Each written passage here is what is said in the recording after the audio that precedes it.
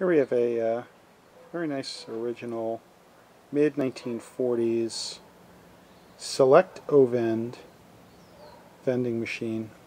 It's a one penny machine that was made to vend um, rectangular product as you can see from the uh, metal uh, signs on the side there uh, which are in very nice condition. It could vend uh, little chocolate bars, Beech-Nut gum, Dentyne and so on.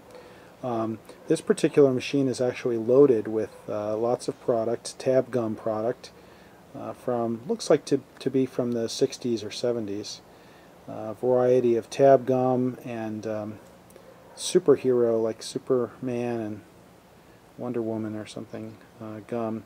So all of the columns are filled. It does have its original uh, lock, key, and um, just a nice working example.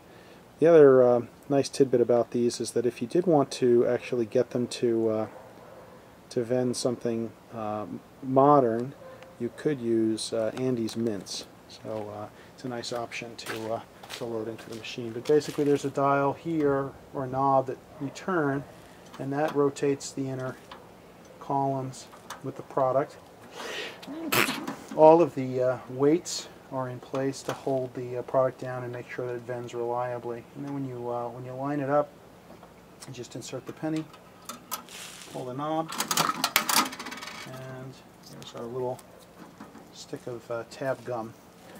Again, a uh, nice, all original 19 mid 1940s to maybe late 1940s Select O Vend gum and candy machine.